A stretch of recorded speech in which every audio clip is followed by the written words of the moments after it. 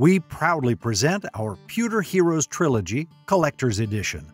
Working with three game designers, two renowned board game artists, and a master metal caster, we launched our Pewter Heroes Trilogy in 2021. Three original games, each starring a world class pewter miniature. There's Alien Getaway, where you'll help Alien Zoid navigate an asteroid field away from an exploding planet.